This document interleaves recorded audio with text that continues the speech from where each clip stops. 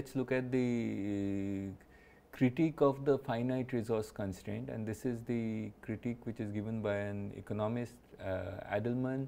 He says the total mineral in the earth is an irrelevant non-binding constraint. If expected finding minus development costs exceed the expected net revenues, investment dries up and the industry disappears. Whatever is left in the ground is unknown, probably unknowable, but surely unimportant, geological fact of no economic interest. So, it is not just an, uh, the reserve that we are talking of only when it is economic and if it is viable then only it will be extractable. So, this whole calculation of the uh, this is a critique which says that the calculation of the reserves uh, should not be necessarily done it depends on the costs and we will we'll refine that, but just historically when we look at it the static R by P ratio or the exponential ratio is uh, uh, something which is interesting to see. In the case, uh, in McCabe's paper, he talks about two different models of the um, of any uh, resource, and you have a closed market where initially because of the economies of scale, the prices can go down, and then a depletion results in higher prices. And as a resu result of this, the um, demand rises while prices fall, and then as the depletion goes the then the production rate goes down. So, we expect a curve which will go through a maximum and come down and similar kind of thing is expected even in a case of an open market. So, in all the cases what we expect is that we will have a bell shaped curve P t versus t will start from 0 go to an maximum then come down.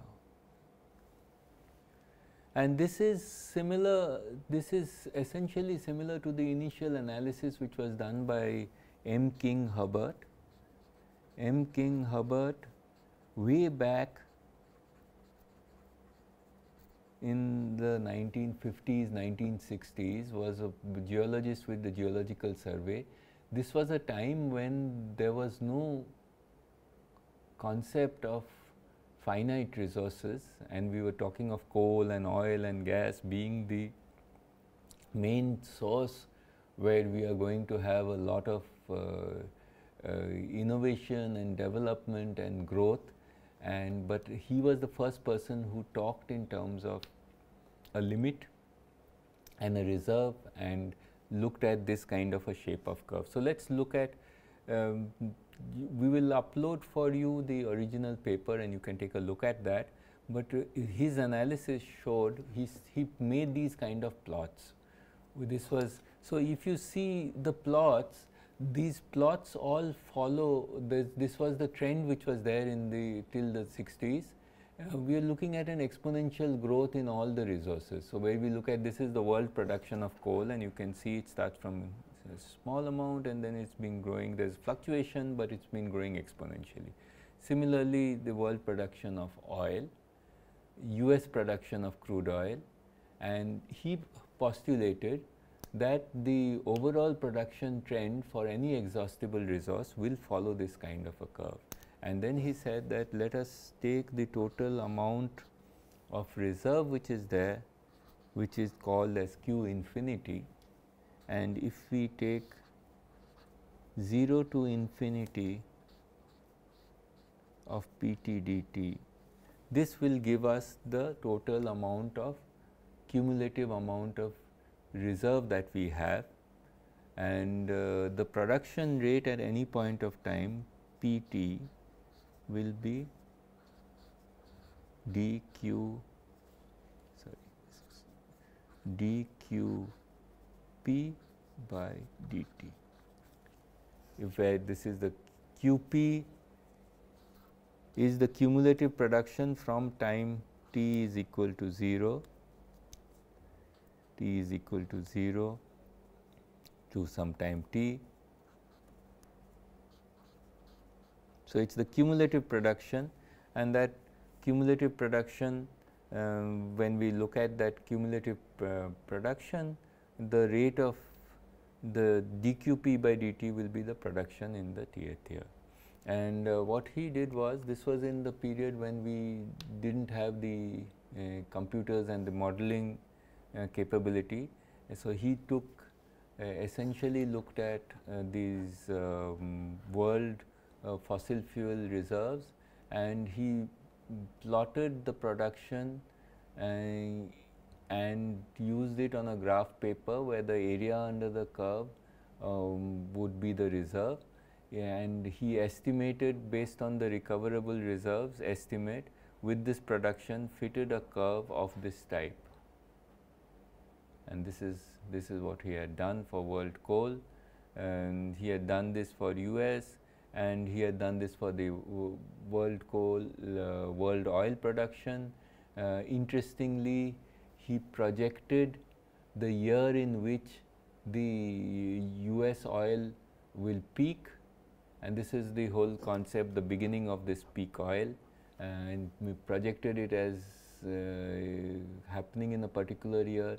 And it actually happened within a few years of that. So, this is where his analysis uh, in future showed that this is the kind of thing. So, but this represents one of the earliest analysis where you have this limit. And today we can use this and we can plot a curve and we will do this. We will take this analysis, uh, we will derive a curve for this and uh, this will be a, like a logistic curve and we will see what is the year in which the uh, peak occurs.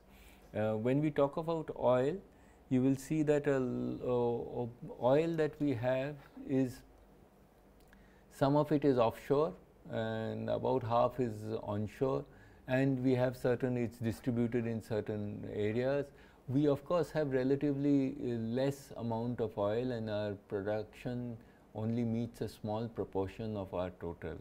Uh, so, the R by P ratio if you take the R by P ratio or the R by C where if you take the oil consumption the R by C ratio if you see it is really really small and we, we really do not have oil for even more than a decade if we are to meet the total consumption from the Indian resources.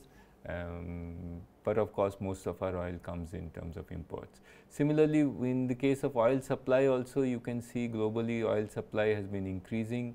We can just take a look at some of the trends in prices of some of these fossil fuels. So, we look at the coal price trend uh, in UK, you can see the price variations in Germany, price variations in natural gas.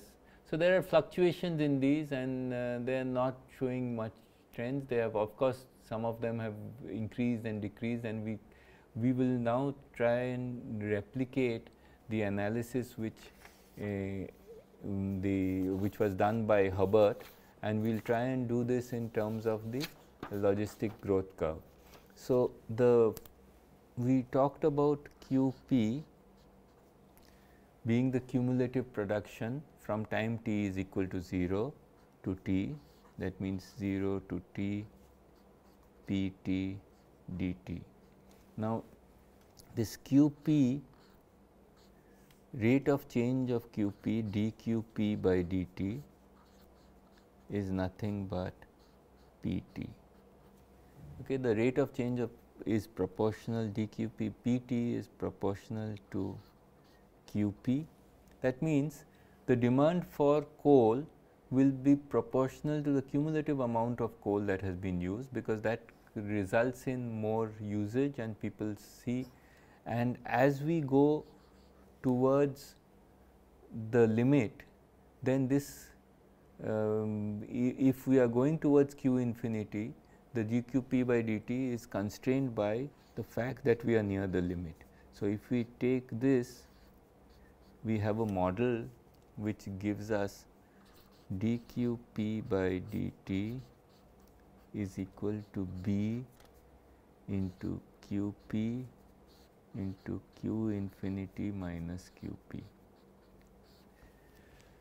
So, as we go towards the rate of change of the cumulative production uh, cumulative production qp which is the production in a particular year in the initial case it is exponential as we go towards the limit that decreases because we have this limiting term which is q infinity minus qp.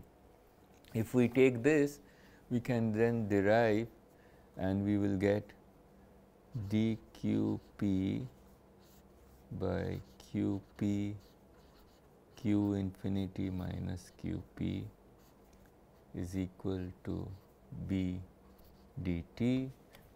And you can show by integration that qp is q infinity by 1 plus a e raised to minus p q infinity t. This is the is called an S shaped curve, S shaped logistic curve. It is also called the Pearl curve after the statistician Raymond Pearl who initially proposed this as a curve which was used to um, show the growth in organisms in terms of uh, height and the um, height and weight and this has been used uh, in a whole host of applications. Uh, the way this works is that you start from here and then you go and it goes asymptotically to the limit. So, in this case this is q infinity, this is q p, this is t and this is what is known as the S shaped curve. Um, so, we can uh, how do we get this curve and I will give you a tutorial where we can look at the actual data for India and you can uh, make this calculation. We have done this and based on this corresponding to this then you get the production going through a maximum and coming down and this is the kind of thing that and this is what was done for petroleum. Uh, we will uh, so typically what happens in this is that uh, we can take this curve QP q infinity by 1 plus a e raised to minus b q infinity t. We need to find these coefficients a and b. q infinity we should be able to get an estimate from the geological survey. The geological survey of India if you are looking at Indian context, uh, whatever estimate we have of the reserves we use as q infinity and we can calculate we can modify this and see we can write this as 1 plus a e raised to minus b q infinity t will be q infinity by q p. So, q infinity by q p minus 1 is a e raised to minus b q infinity t. Okay. Now, for this I can take ln on both sides and I will get ln of q infinity by q p minus 1 is ln a minus b t where b is equal to b q infinity. Now, if you look at this, this is of the form y is equal to C 1 plus C 2 t and this is amenable to linear regression. All that we can do is we can take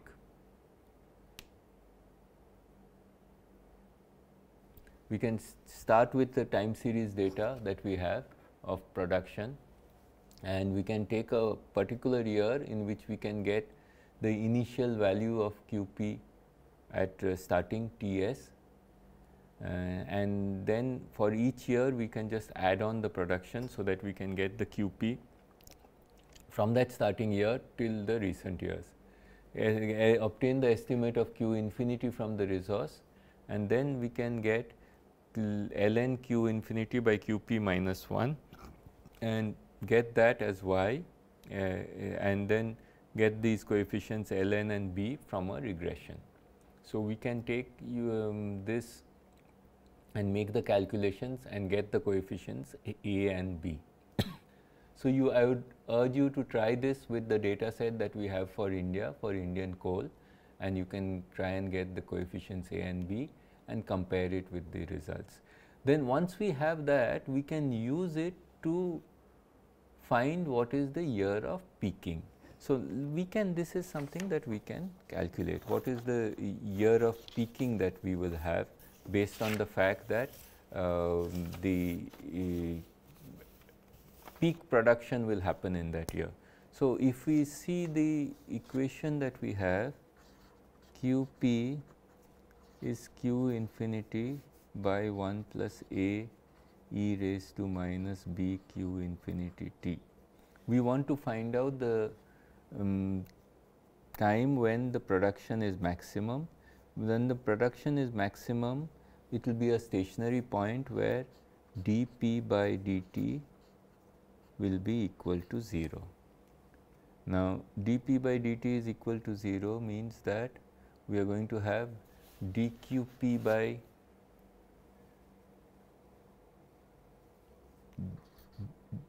dpp is equal to dqp by dt. So, we will like to find the point of inflection when this will be maximum where d squared qp by dt squared is equal to 0. So, let us take this equation and differentiate it we get d squared qp by dt squared we can take the equation where we have let us start from the other point. Let us start from the point where we have P is B Q P Q infinity minus Q P. This is the starting point. So, we can take this as um, dqp by dt which is uh, going to be b uh, dp by dt set it equal to 0 is going to be b dqp by dt into q infinity minus qp plus vqp and differentiate q infinity minus qp which is minus dqp by dt is equal to 0 b is not equal to 0 also dqp by dt is not equal to 0 because that is the production that is the maximum production. So, we can divide by these and what we will get then is q infinity minus q p minus q p is equal to 0 which means q p is equal to q infinity by 2. This is the point at which we will get our peak production and this will happen at the point of inflection, it will happen at the midpoint of the cumulative production curve. So, now we can calculate, we can substitute, we can say q infinity by 2 is equal to q infinity by 1 plus a e raised to minus b q infinity t. We can then say 2 is equal to 1 plus a e raised to minus b q infinity T m let us say T m right? And then this becomes 1 is equal to a e raised to minus b q infinity T m. And then you get T m is ln a by b q infinity. So, what have we calculated? We, we have calculated the time at which the peak will occur okay? and this is in terms of these coefficients a, b and q infinity which we have derived. So, this is the year of peaking. We can also find out instead of this we can find out the t 90 percent time at which 90 percent of the resource is used up so, we can uh, take q p by q infinity is 0.9, substitute it and get the value of t. So, unlike in the other case where it abruptly ends, in this case uh, we have the S shaped curve where it goes asymptotically to the uh, limit. And uh, so, this can give you an estimate and you will find that this uh, T m will be in between you have the static R by P ratio which is the highest and this uh, will you will have the Hubbert model or TM and uh, the this will be uh, in between this and the exponential t for the exponential growth model which will be the smallest. So, it will be somewhere in between and this is one of the ways in which we can do this. This curve which we have is uh, symmetric about the uh, point of inflection. In, instead of this we can also have other curves, other logistic curves not commonly used, but there could be uh, the Gompertz curve for instance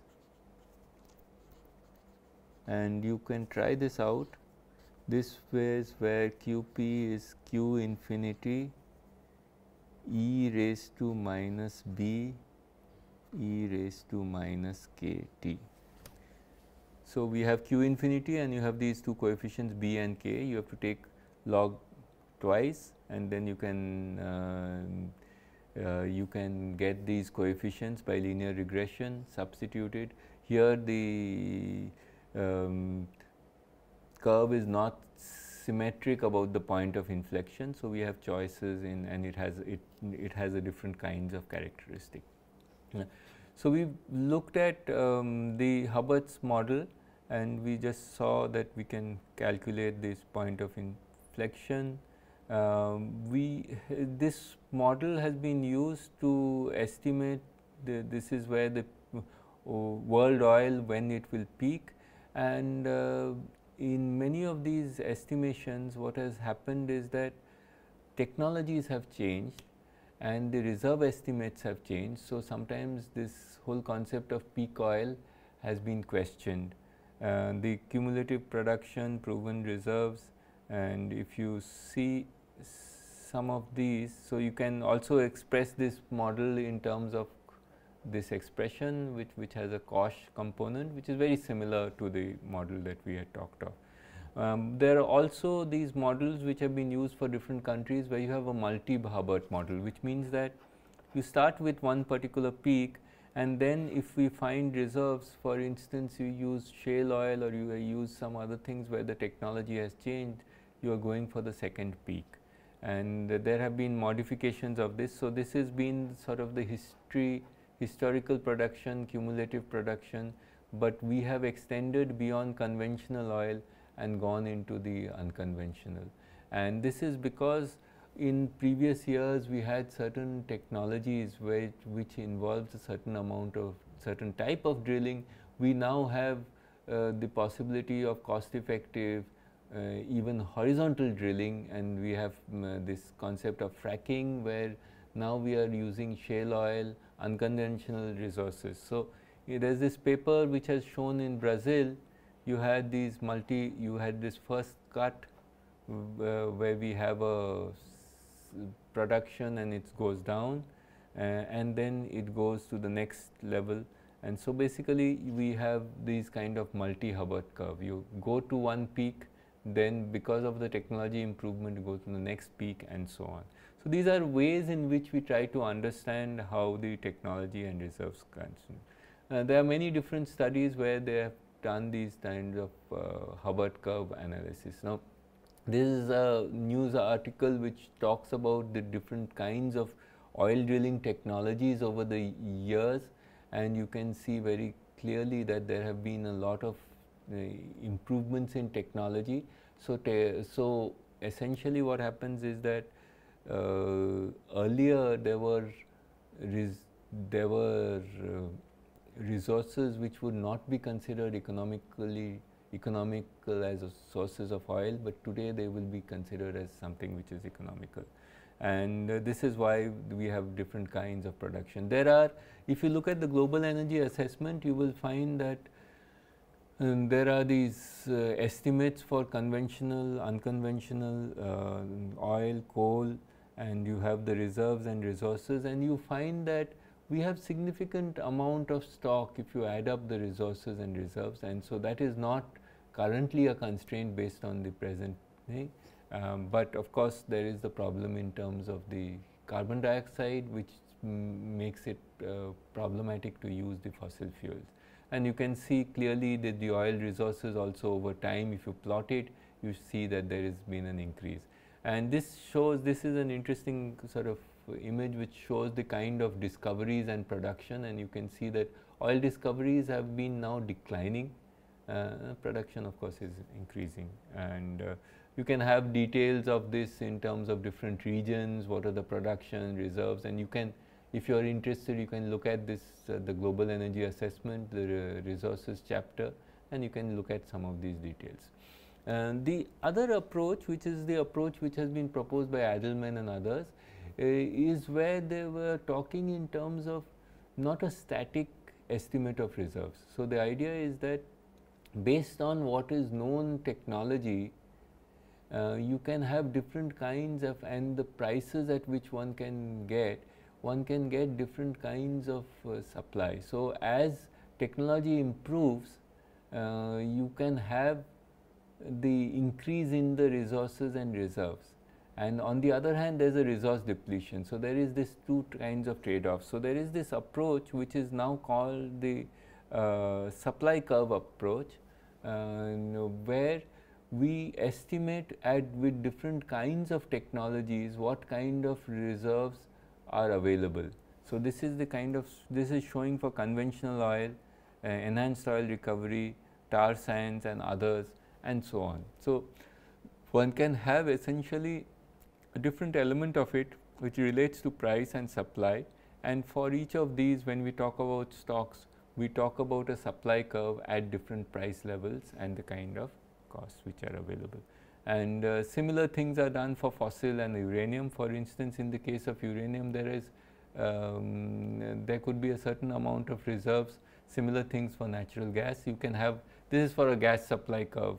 Uh, you can see different amounts at different kinds of prices. So that adds a different dimension, and you can see the sources and put um, the kind of uh, values which are there. Um, so, this is this is the different approach unlike the we have seen the static R by P ratio, the exponential and then the Hubbert curve or the logistic growth and then we have the supply curve option. Uh, in the supply curve option we are basically saying that it is not a static amount the uh, it is not a fixed finite resource, but there is a resource which is a function of technology and cost and at different costs there will be different amounts of supply. So, this is one of the ways in which you can do this. Uh, you can look at uh, details of this through some of these references, the global energy assessment and, uh, and, and some of the papers, Adelman's paper in, and uh, the peak oil concept. Uh, so, what we have done is we have looked at uh, essentially resources which are stocks and which are considered to be uh, non-renewable or depletable.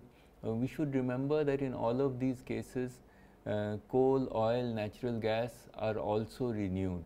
They are formed over natural processes where vegetation is comes under pressure and it comes under some sets of changes and over thousands of years uh, you have these resor uh, resources and reserves formed. However, the rate at which we deplete it is at much faster rate than the rate at which it is renewed. So, for all practical purposes these are known as depletable.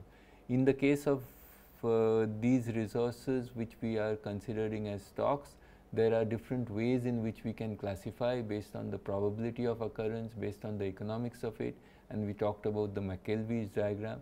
We then said that given a certain estimate we can have different estimates of the time for which it would last.